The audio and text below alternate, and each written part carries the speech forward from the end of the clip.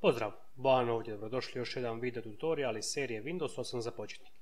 Tema ovog videa je uređivanje programske trake. Uređivanje programske trake je vrlo jednostavno i može vam olakšati navigaciju na radnoj površini. Uz ove ikone koje imamo tu, možemo prikačiti koliko god želimo ikonu. Na vrlo jednostavan način. Otvorimo izbornik Start, desni klik na ikonu koju želimo prikačiti, te izaberimo prikvaćenu programsku traku. Dodat ćemo još vijesti. I OneDrive. Sad kad se vrati na radnu površinu, ikone su prikačene. Jednostavnim klikom i povlačenjem možemo ih razmještati kako želimo, a za ukloniti dovoljan je jedan desni klik, te otkvaći ovaj program s programske trake. Idemo pogledati još neke opcije za programsku traku. Desni klik na traku, zatim klik na svojstvo.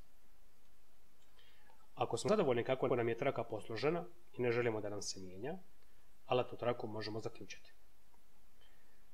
Također, alatnu traku možemo automatski sakriti.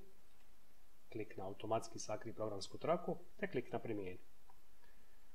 Sada se traka automatski sakriva kada ne koristimo. Aktiviramo je spuštanjem strelice miša na dno ekrana.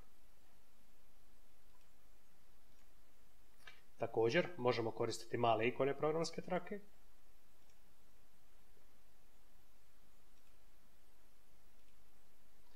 Sljedeće, možemo promijeniti položaj programske trake na zaslonu. Trenutno izabrano na dnu, ali možemo promijeniti na lijevo, na desno ili na vrh. Uz programsku traku dolaze i alatne trake. Jedan desni klik, alatne trake, te možemo izabrati neku od ovih, recimo adresa. Sad mogu direktno pretraživati internet iz programske trake.